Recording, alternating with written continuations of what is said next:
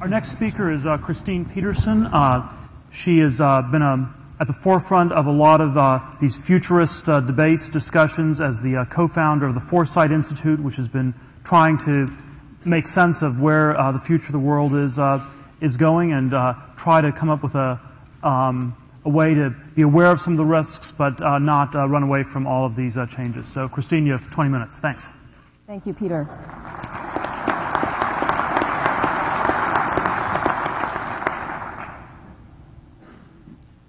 So the title of my talk, Bringing Humanity and the Biosphere Through the Singularity, I thought was a nice, modest goal for 20 minutes.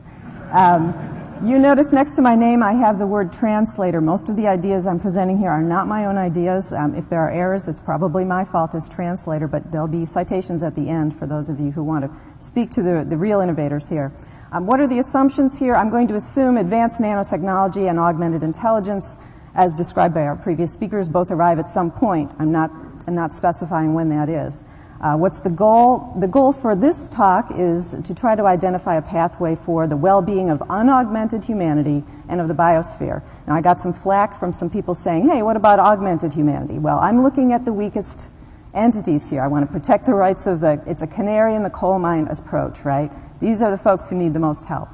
Um, given that we only have 20 minutes, uh, rather than uh, deal with the biosphere separately, I'm going to say the biosphere well-being is dependent on humanity caring, I would say. And so uh, it's a human value. It's one of my human values. If it's not one of your human values, I hope it is, but if it isn't, uh, strike that and put in what you value, whether it's art or religion, whatever your personal value is. Um, so we're looking for a pathway for humanity and human values.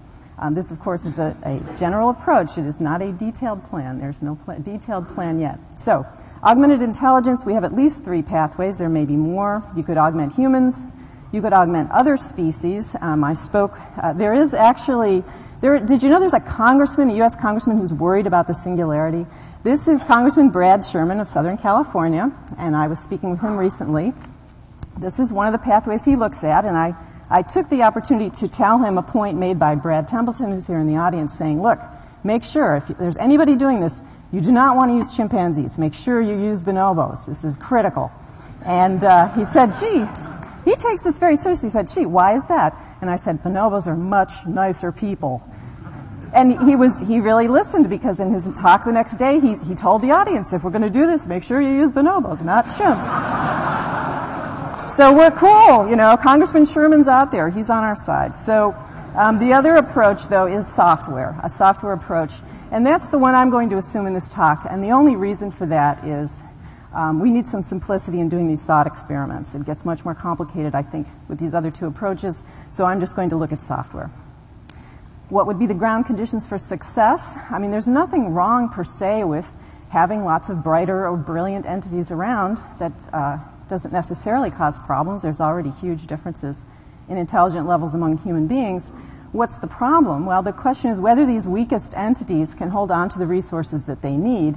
Um, they need protection from physical coercion. They need protection from economic coercion, such as excessive taxation. You can tax somebody into, uh, into, into non-existence. The issue is power and how it's wielded. You know, this is a problem we have today. This isn't a new problem. Um, it just gets a lot worse, I guess. So we have some experience in dealing with very, very powerful entities. There are extremely wealthy individuals today who are wealthy enough to, say, buy one of the smaller countries. Um, there are very powerful corporations, there are uh, extremely powerful governments, and they, they can and they do cause tremendous trouble. But we have learned some mechanisms for reducing that, not eliminating it. Um, we have our constitutions, rule of law, contracts, property rights, we have balance of power and checks and balances strategies, mutual defense agreements, game theory. Um, the key thing here, though, is we do need the initial ownership of the original resources, the current resources, by human beings to be respected and enforced. This is property rights. There are different kinds. There's computational and non-computational property rights. Um, it turns out, when you think about it, that securing these non-computational property rights, physical rights, food, these kinds of things, dep uh, depends on, in the long term, depends on computational property rights, if you think about it. Um, we all know, regardless of whether you buy the singularity scenario or not, We know the world is going to be increasingly computerized. Those computers are, God forbid, going to be running software on them, right? This is con- increasingly controlling the physical world around us and our resources. Um, if the thought of that doesn't disturb you, then you don't really understand software, I think. Um, so, if our computers aren't secure, we have, we're going to be having a very insecure physical world. So, let's look at computational first. So, what do you need? Well, at the very minimum, and those of you who do computer security know it's a very complicated topic with a lot of layers. I'm going to look mainly at one layer, which is the operating system. Um, you need a secure operating system. You need one that's structured such that a running program has, by default, when it's set up, no authority at all. Um, there are techniques for providing what we call fine grained access control to resources inside the computer. Uh, this is capability security. Um, it provides you a framework with rules for the exercise and transfer of permissions. Uh, it's basically a constitutional system inside the software for property and contract. It gives you a minimum framework of, quote, law, unquote, uh, with enabling voluntary arrangements and enforceable contracts. The nice thing about this law is it's not like human law in the physical world. It's more like physical law in the physical world. You can really make these things uh, unbreakable inside the computer. So what results do you get from doing this? Um, you can confine a program uh, to a virtual machine inside this computer. If you were to bring up augmented intelligence software on top of, of such a system, it couldn't do damage outside the system. It would be confined. And of course, many caveats and complexities not covered here. Those of you who are into computer security who want to follow this up, um, there are discussion groups on this topic I can refer you to. So, so let's say you have a layer you have a layer of secure operating systems. Uh, on top of that layer, you build something called smart contracts. Um, they, these are contracts, simple ones, embodied in software. They are automatically enforced inside the computer. Now, the, the problem or the, the, the challenge here is that the types of rules to be enforced have to be very simple. They have to be much simpler than the current legal code. For example, real estate lease is far too complex to enforce this way. So you, you'd need to design your contracts and your rights such that the system can understand and enforce them. I believe there is work being done on a language that would, would be used for these smart contracts. Um, what you do, if you, if you pull this off, what you get is you get an, an environment, a software environment, where force doesn't work. And that sounds like a good place to me to do if you're going to have an intelligence explosion. That sounds kind of like a good place to do it. So you have your layer of secure operating system. On top of that, you have your layer of smart contracts. On top of that, you have your, you would build automated defense systems, mutual defense systems. And this is where the software world interfaces with the physical world. Um, in order to have such a system, you'd need a consensus on initial asset, asset division. What is a violation of that? What response is merited? And only simple rules can be enforced.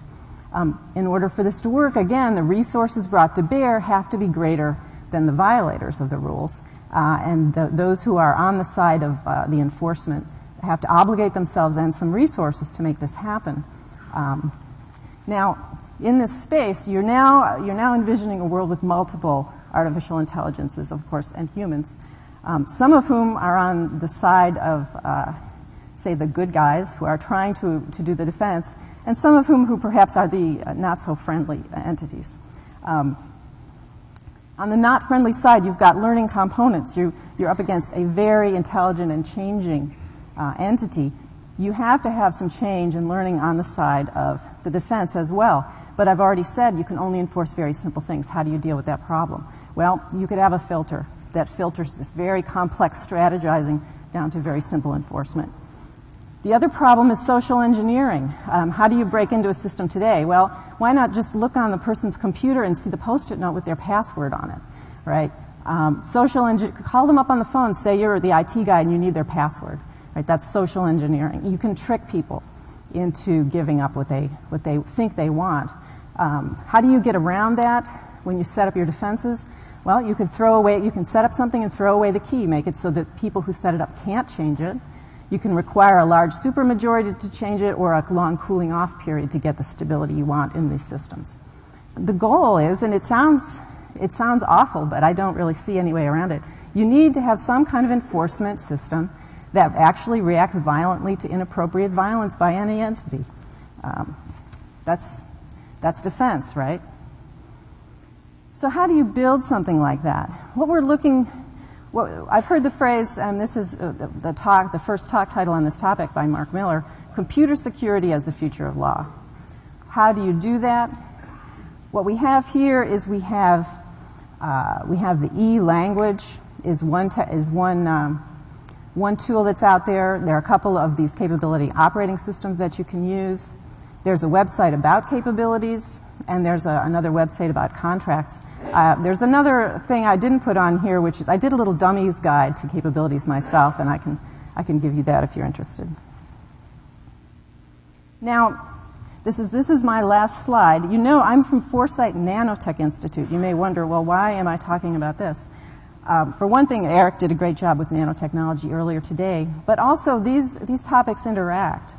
Um, when you think about the long term in nanotechnology, we've heard about the idea of nanotechnology weapons, you end up thinking about automated mutual defense systems. Um, it has to be automated.